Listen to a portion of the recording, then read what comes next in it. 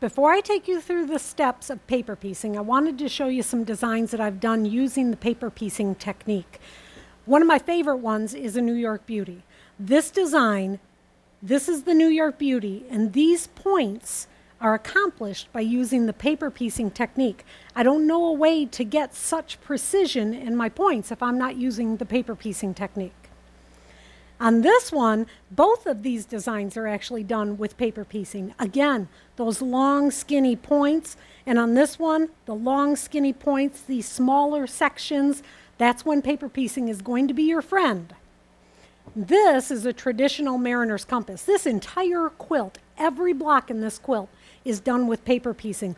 All of these long points, and in the middle of the design, you can see all the points you can only get that precision of points using paper piecing. So I'm going to take you through the steps now. So I've got my design that I want to do. This is what it's going to end up looking like, this cute little tulip. And I've got my design, I've copied it onto a piece of the vellum paper that I talked to you about so that you'll be able to see the fabric on the back side of the paper when I'm working on it. I've made my copy. Now I'm going to decide what size to cut the fabric. So I'm going to take my ruler. I'm going to measure this segment right here. When I measure that segment, it measures to about one by four inches.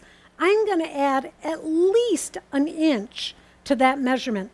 So if I'm measuring one by four, that means I'm going to cut my piece of fabric two by five. I want the piece of fabric to be plenty big.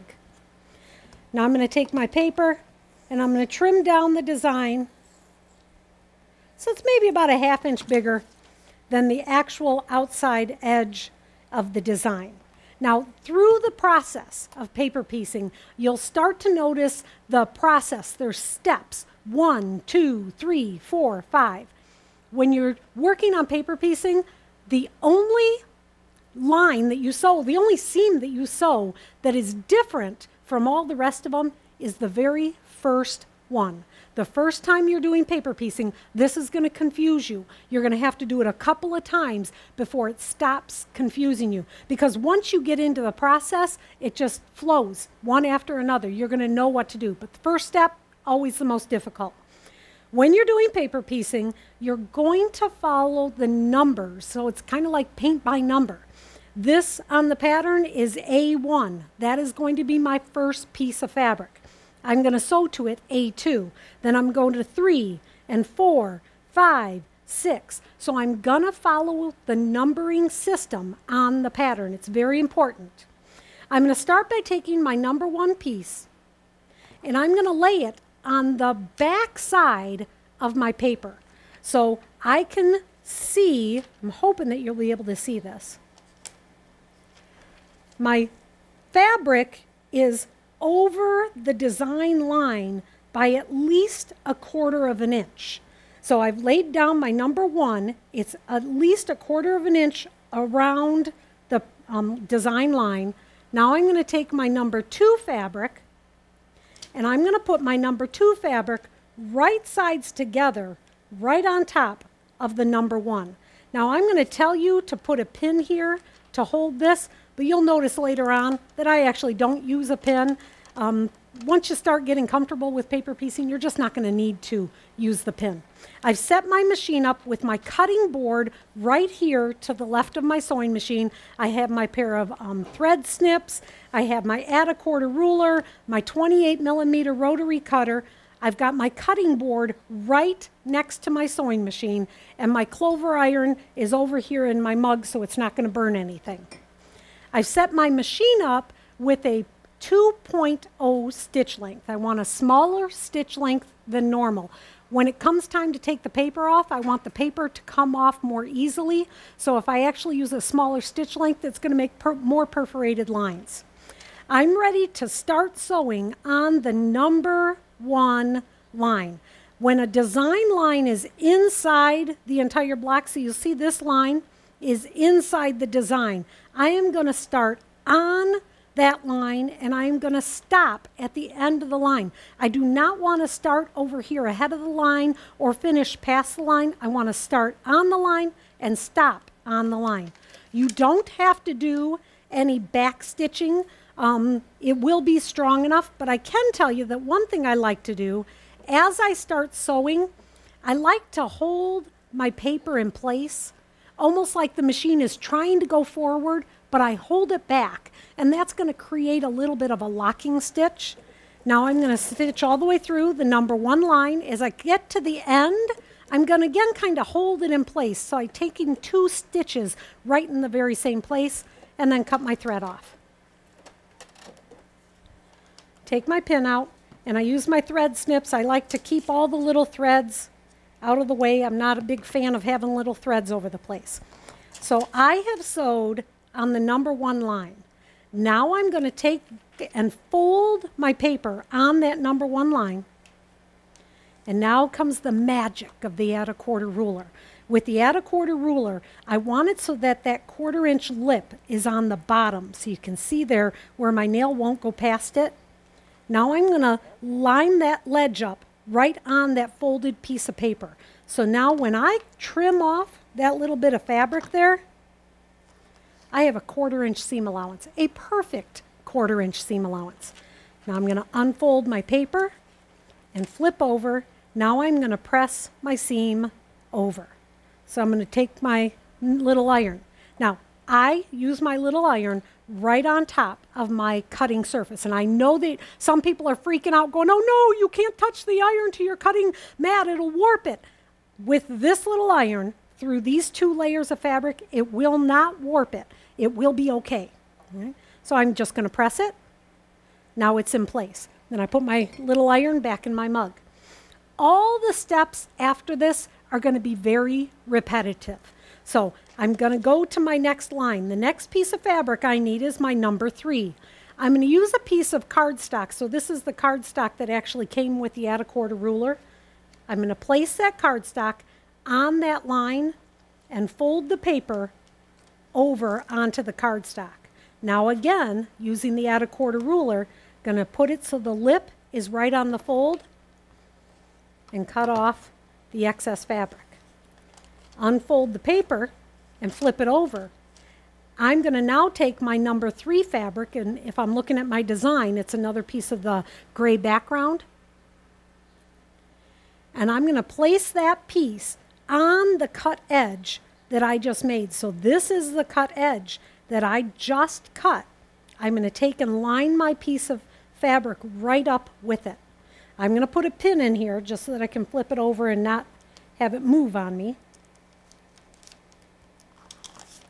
When we flip it over to the other side, we are going to sew on this line. This is the line between the number one and two and three positions.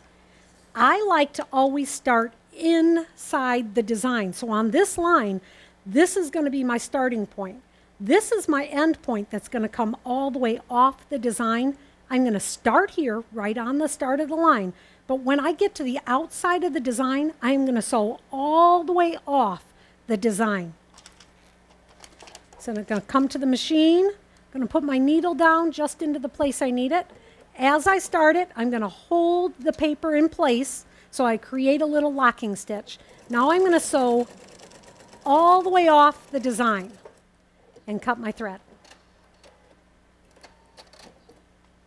You can see that I started here at the beginning of the line and I sewed all the way off and then, of course, I'm going to cut my little threads off.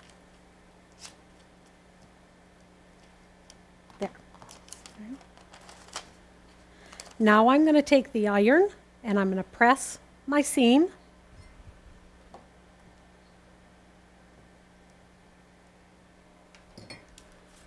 My next step is my number four. Here is my number four line between the one and two. There's my four. I'm going to take my cardstock, place it on the line, flip the design up on top of the cardstock. Using my add a quarter, I'm going to trim. After I have trimmed the seam, I'm going to place my fabric. I'm Going to place the fabric edge right on the edge that I just cut. When I go to sew this design, I am going to again start on the inside of the design but on this one, where it looks like it actually is coming all the way off the edge, because there's this angle point, it's actually not. So I'm going to start sewing here and stop sewing there. I'm not going to sew all the way through the end like I did on that last piece.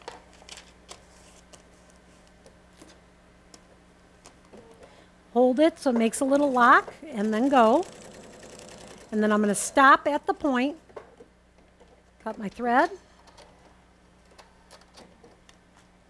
trim my little threads off. Now I'm going to press.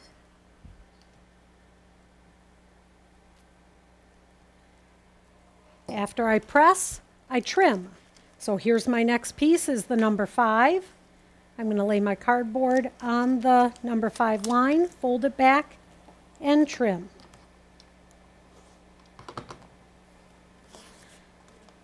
With triangle pieces, you do want to be cautious about how you place your triangle piece. So I took a two and a half inch square and cut it in half, so now I have a triangle.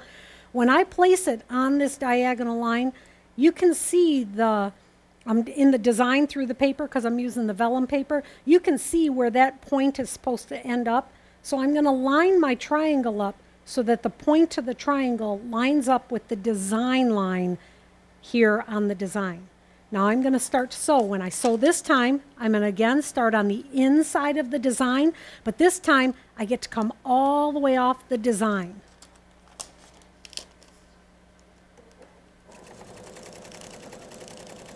sew.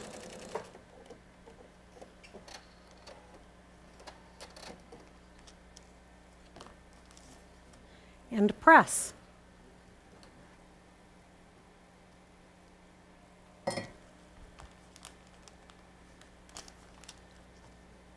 Trim.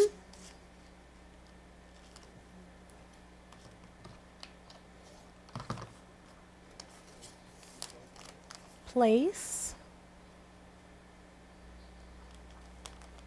Oh, now this time when I sew, because I'm near the edge of the entire piece, I'm actually going to start off the line and sew all the way off the line. So I'm not starting in the middle this time. I'm going to start off the design, sew completely on the line all the way off the design.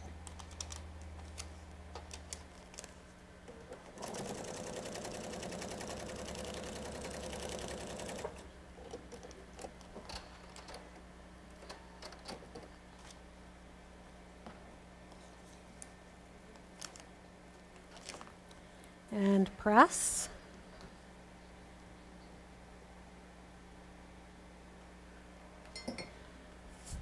My next design line, I'm going to trim.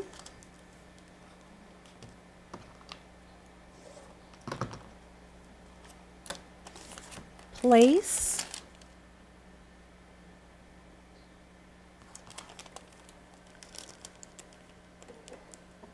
Sew. Gonna sew all the way off the line this time.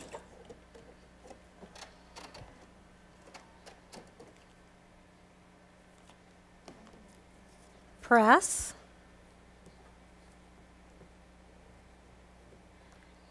Now we're to our last piece. So, whoops, trim that thread. I'm gonna fold back and trim for my last piece.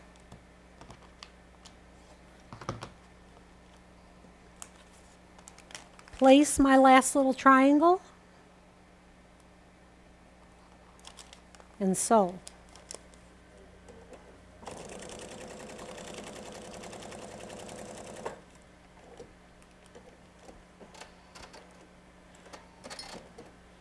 One last press. And my design, the sewing portion of my design, is actually done. So before we finish, I want to again reiterate the steps you're going to trim, place, sew, press. Trim, place, sew, press. If you do a few of these blocks, you will have those steps down. So the next step we're going to do is the pressing of the entire block.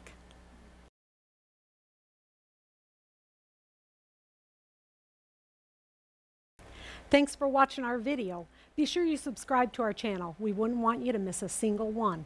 Leave a comment. We would love to hear from you.